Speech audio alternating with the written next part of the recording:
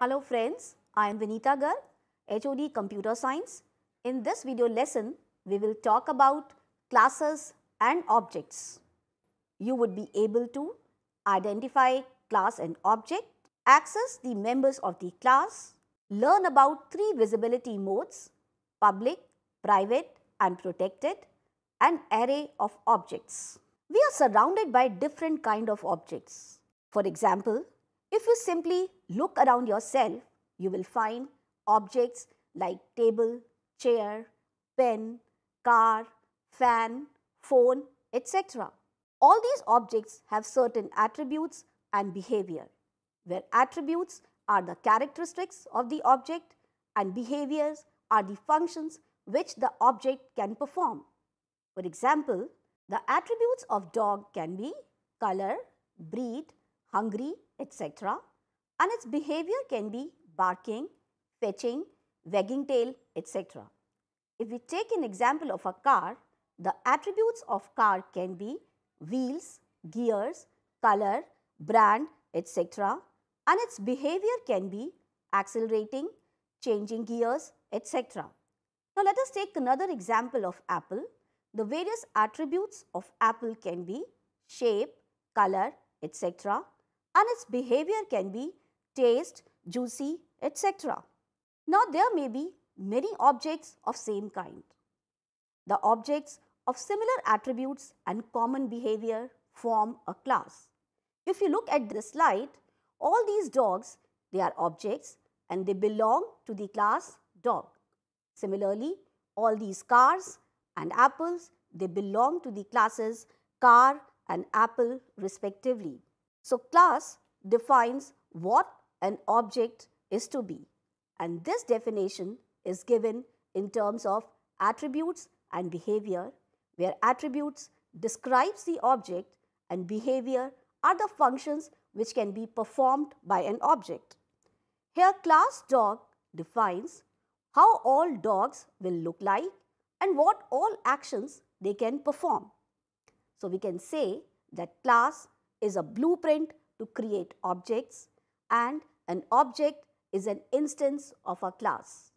Classes and objects are fundamental components of object-oriented programming. So, let us understand how we can create objects and what objects are and how classes can be used to create objects. Class A class in object-oriented programming is defined as a way to bind the data describing an entity and its associated functions together. It allows data to be hidden if necessary from the outside world. Now class specification has two parts, class declaration and class function definition. Now let us see what is a class declaration. The class declaration starts with the keyword class followed by the name of the class. The name of the class is also known as class specifier or tag name. Now the body of the class is enclosed within curly braces and is terminated by semicolon. Within the class, the variables and functions are declared. The variables which are declared within the class are called data members and the functions declared within the class are called member functions. Together, data members and member functions are called members of the class. Now, the keywords private, protected and public are called the visibility modes or access specifiers. The private and protected keywords specify that all the data members and member functions which are declared in this section are not visible outside the class. They can only be accessed by the members of the class. However, the data members and the member functions declared in the public visibility mode can be accessed outside the class that is by the object of the class. The only difference between private and protected visibility mode is that protect members of the protected visibility modes can be inherited while members of the private visibility mode cannot be inherited. We will talk about inheritance later. Now let us take an example of the class student. Here we will start with the keyword class followed by the name of the class which is student here and this is also called tag name or class specifier. Now the data members of this class are roll number and name which are kept in the private visibility mode and the member functions of this class are in data and out data which are kept in public visibility mode. In the in data, we will input the details of the data members and in the function out data, we will display all the data members. Now, if we define the class without any visibility mode, then by default, it is taken as private. So, if all the labels are missing, then all the members of the class are considered as private. This type of class is completely hidden from the world as none of its member can be accessed outside the class. Creating objects. An object as we have already learned is an instance of a class. The syntax for creating an object is class name followed by object name and terminated by semicolon. It is very important to note that class specification provides only a template and does not allocate any memory space. The necessary memory space is allocated only when the object of the class is created. Let us create few objects using the class student. Now we can create the object of class student in main using the statement student and stu followed by semicolon. Here stu is an object of class student and you can see the moment we create the object stu, the memory space is allocated to its data members, roll and name. Objects can also be created when a class is defined by placing their names immediately after the closing brace. You can see here after the closing brace of class student, we are giving the names of the objects as stu1, comma, stu2 and then semicolon. The moment these objects are created, memory space is allocated to the data members of stu1 and stu2. Now let us understand the relationship between class and object again. Class is a data type. Object is a variable of class data type. Class is the uh, template or it is a blueprint. An object is an instance of a class. Class does not occupy any memory. However, object occupies memory. Accessing class members. Class members can be accessed by using a dot operator between the object name and the name of the data member or member function. The syntax for the same is object name dot data member semicolon or object name dot member function semicolon. Here the dot operator is called the class member access operator and please remember object can access only the public data members or member functions of a class. Let us see an example. We have already created a class student. Now let us suppose in main we are creating an object stu of class student. Now to access the member function in data, the statement would be stu.indata. Here the function in data will be invoked for the object stu. Now the next statement is stu.roll. This statement is uh, will give an error because roll is a private member of the class and it cannot be accessed by the object of the class. So, please again remember that objects can access only public members of the class. Member function definition. Now, the member functions of a class can be declared either inside the class or outside the class. We declare the member functions or define the member functions inside the class only when the function code is small and does not contain iterative statements.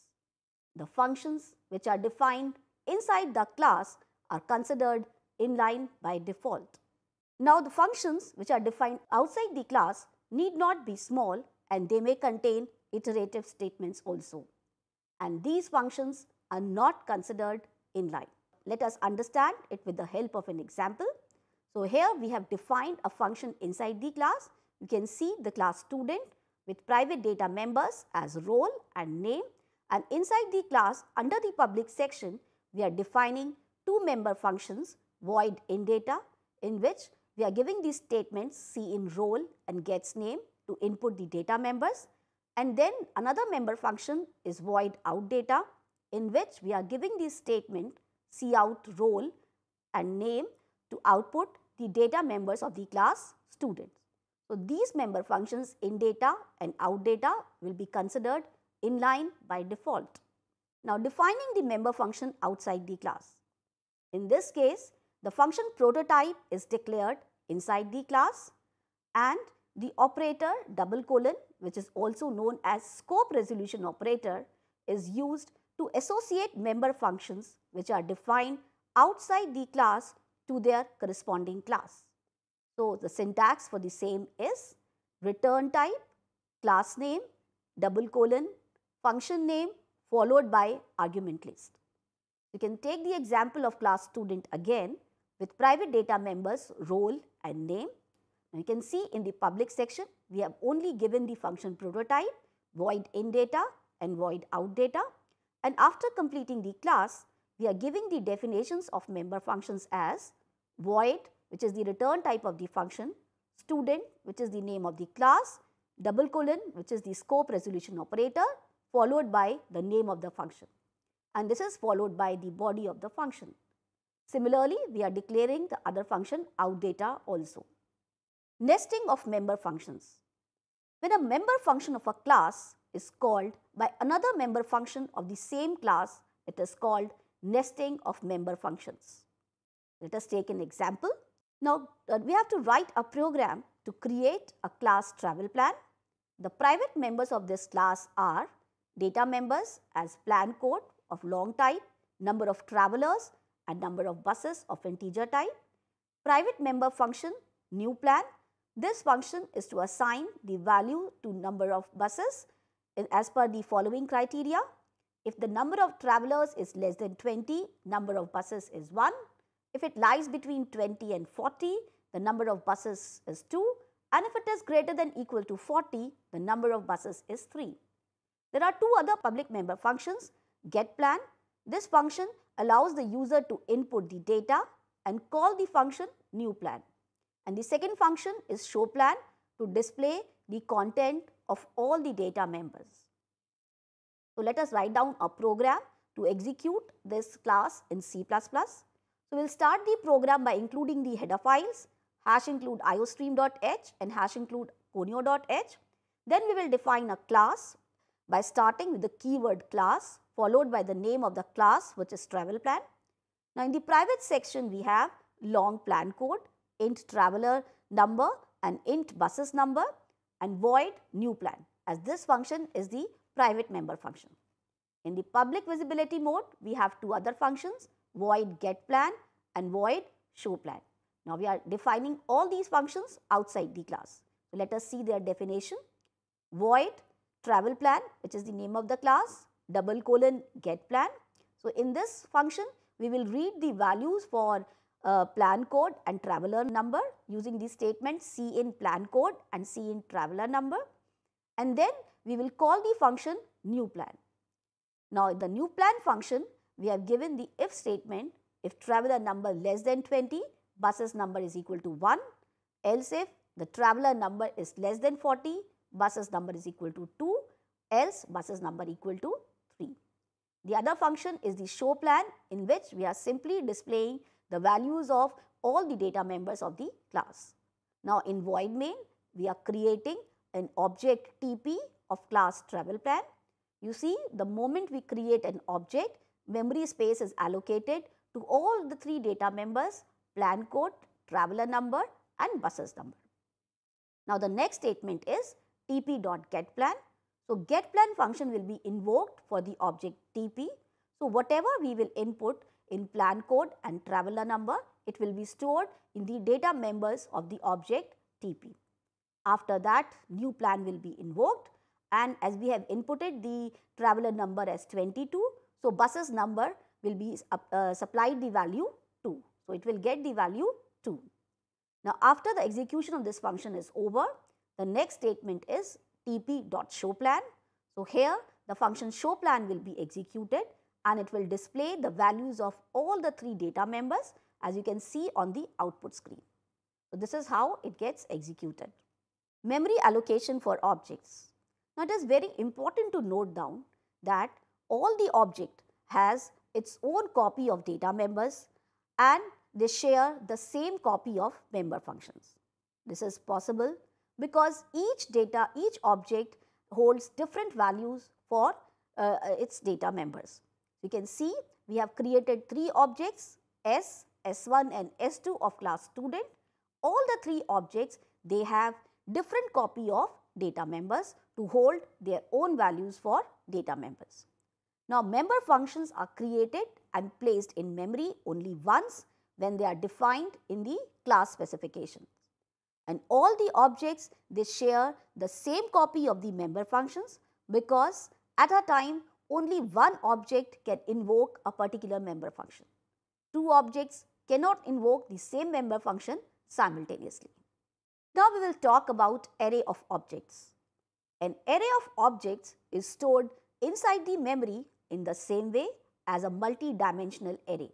We can use the usual array accessing methods to access individual elements and then the dot operator to access the class members.